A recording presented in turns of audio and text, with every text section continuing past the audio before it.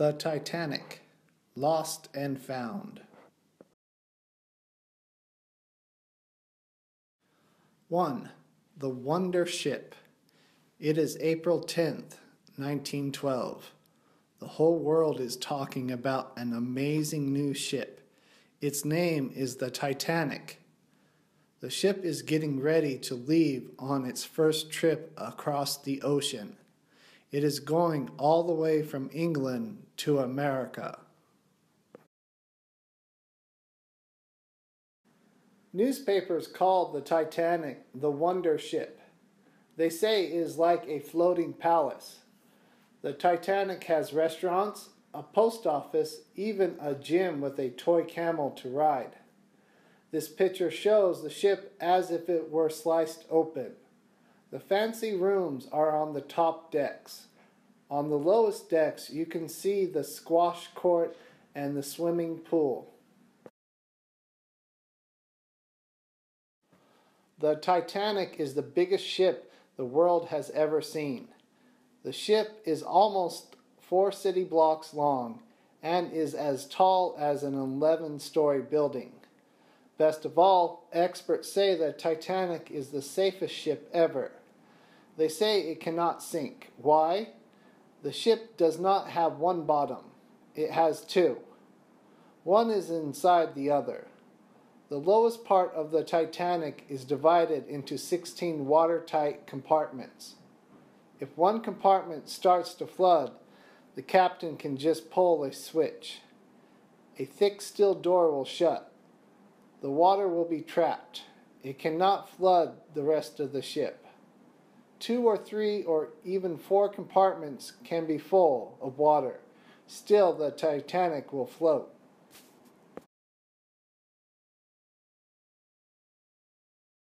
The Titanic has another nickname, the Rich Man Special. Some of the richest people in the world are sailing on the Titanic. Their tickets cost more money than a sailor earns in a lifetime. Not all the passengers are rich. Some have very little money. They are not traveling for fun. They are going off to find a new home in America. At last, the big moment comes. The Titanic is ready to sail. Crowds line the shore. Flags wave. A band is playing. Passengers come out on the decks. They wave goodbye to their friends. The engines roar. Slowly the ship steams out of the harbor. The Titanic has begun its first voyage. No one guesses this will also be its last.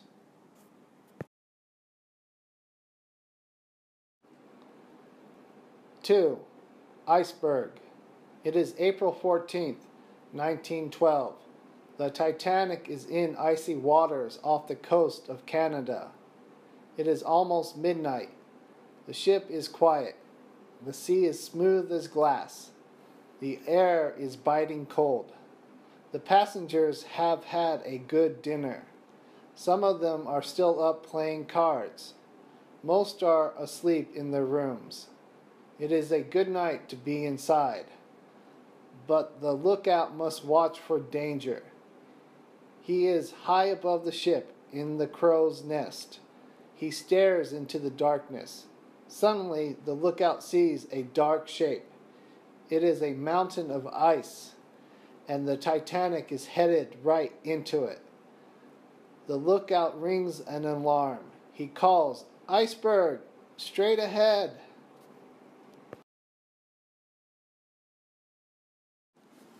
A seaman is below, steering the ship. He tries to turn the ship away, but it is too late. The giant iceberg scrapes along the side of the ship. There is a bump, a grinding noise. It doesn't seem like much. Some people do not even notice. But the captain hurries from his room. He goes down. He wants to see if the ship is hurt. Soon he learns the terrible truth. The iceberg has hurt the ship badly. Water is pouring in. Five of the watertight compartments are already flooded, and that is too many. Nothing can be done now. it seems impossible, but it is true. The Titanic is going to sink.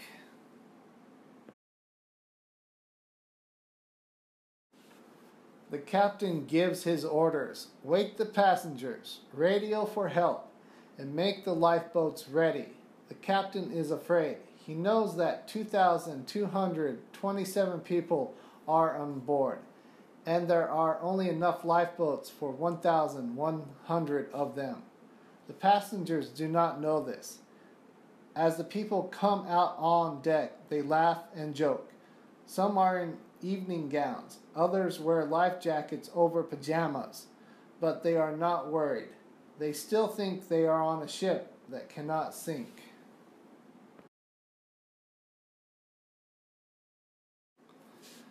Get into the lifeboats, the sailors tell them. Women and children go first. Men go only if there is room. Many do not want to get in. The big ship seems so safe. The little lifeboats do not. The sailors are in a hurry. They know there is trouble. They rush people into the lifeboats. Some are only half full, but the sailors lower them anyway. Many passengers are far from the lifeboats. They are the poor ones. Their rooms are down below. They know there is trouble too, but they do not know where to go. A few try to find their way. They go upstairs and down halls. Some are helped by seamen. Most just wait below.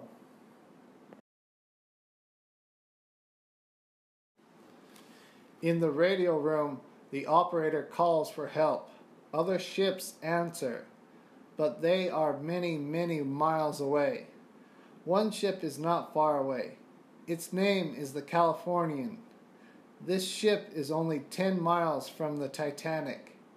It could reach the sinking ship in minutes and save everyone.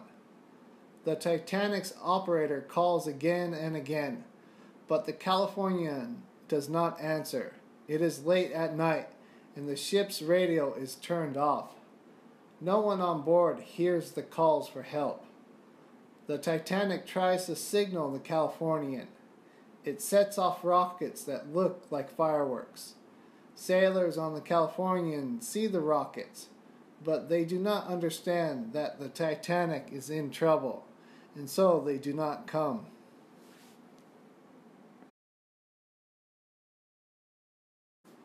On the Titanic, the band is playing. The music is cheerful, but people are afraid now.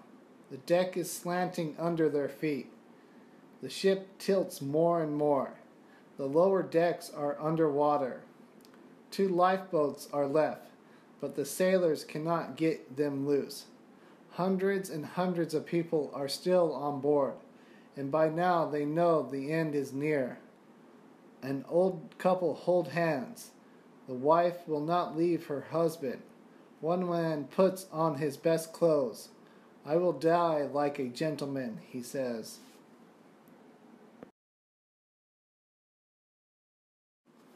Some people jump into the icy water. A few are lucky. They reach a lifeboat. The people in the lifeboats row away from the Titanic. Everyone is staring at the beautiful ship. Its lights are sparkling. The lively music drifts across the water.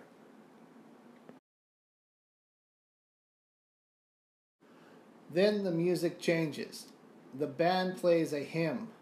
One end of the huge ship slides slowly into the ocean. The music stops. There is a great roaring noise.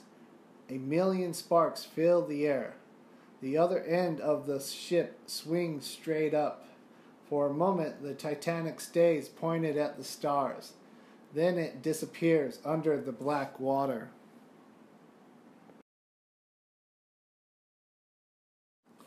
Three, never again. It is 2:20 a.m. on April 15th. The Titanic is gone. The people in the lifeboats stare into the night. The sky is full of shooting stars but it is dark, and it is bitter, bitter cold. Most of the lifeboats have drifted away from each other. People just wait, and they try to get warm.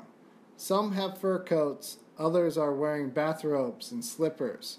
One man is in nothing but his underwear. Coldest of all are the ones who jumped from the ship and swam to a boat. Their hair and clothes are frosted with ice.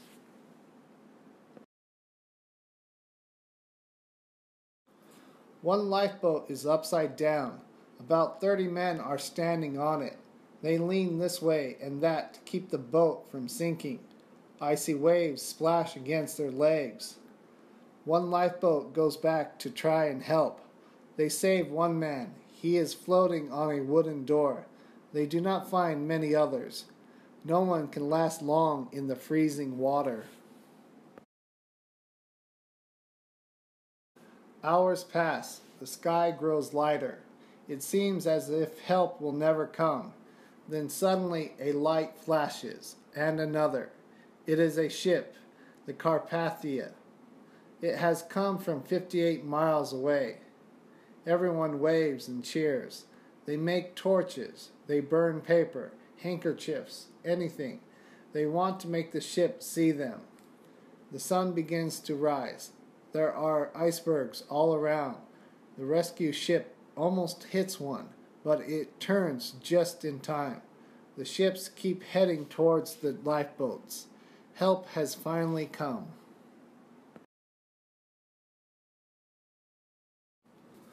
All eyes are on the rescue ship. Boat by boat, the people are taken aboard. The sea is rough and it takes many hours, but at last everyone is safe. Soon the news flashes all around the world. The unsinkable Titanic has sunk. More than 2,200 people set out. Only 705 are rescued. How? Why? No one can understand. When the rescue ship reaches New York, 40,000 people are waiting. The Titanic survivors tell their stories. The world learns the truth. The safest ship was not safe at all. It was too late for the Titanic, but it is not too late for other ships. New safety laws were passed. Many changes were made. Today, every ship must have enough lifeboats for every single passenger, and every ship has lifeboat drills so people know what to do if there is an accident.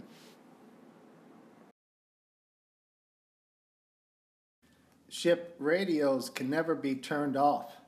Every call for help is heard. And now there is a special ice patrol. Patrol airplanes keep track of dangerous icebergs. They warn ships never again can an iceberg take a ship by surprise. The Titanic was a terrible loss, but the world learned from it. 4. Found at last. Years went by. The Titanic lay many miles down in the black, icy cold water. No divers could go down in such deep water, and no one could even find the ship. The map below shows you roughly where the Titanic sank.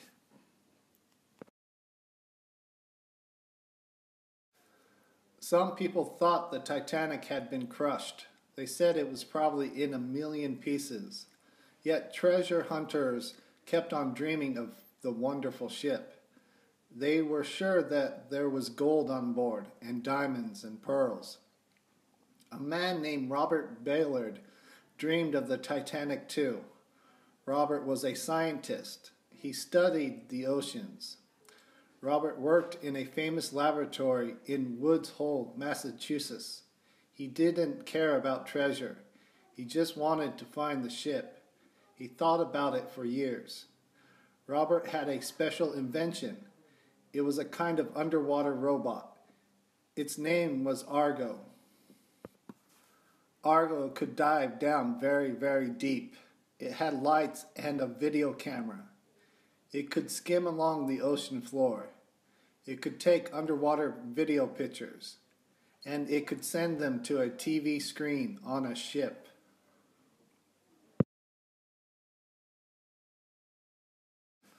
Robert read all about the Titanic. He looked at maps and photos. Finally, he was ready. He thought he knew where the mystery ship was waiting. In the summer of 1985, Robert sailed north to Newfoundland. He went with a team of scientists. He took Argo with them. Robert sent Argo hunting. He didn't even have to get his feet wet, but he had to do a lot of watching. For days it was the same. He saw sand and more sand.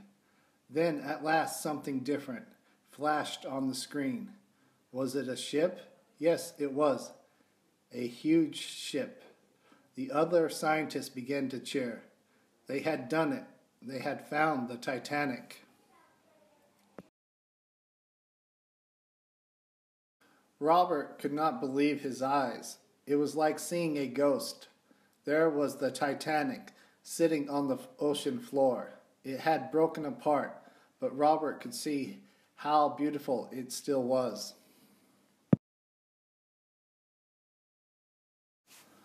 Over the days, Robert saw more and more of the ship. He saw the crow's nest where the lookout first spotted the iceberg, a beautiful glass window laid in the sand. The ship's giant anchors were there. Bottles of wine were scattered about, and suitcases. It was amazing, and it was sad. So many people had set out on the voyage, so few had returned. Finally, Robert sailed home. He did not tell anyone where he had found the Titanic. He hoped the ship would stay just as it was. He didn't want treasure hunters to come and loot it. Robert wanted to go back to the Titanic, and a year later he did. He landed a small submarine right on the deck of the Titanic. He sent a robot inside the ship. Robert did not take anything, but he did leave something behind. It was a message. He left it for anyone else who might find the Titanic. It asked that the great ship be left in peace. All over the world, people were thrilled by Robert's work. To some, it was very special. They had sailed on the Titanic. They had been small children then, but now they were very old but they had never forgotten the unsinkable Titanic. The world would never forget.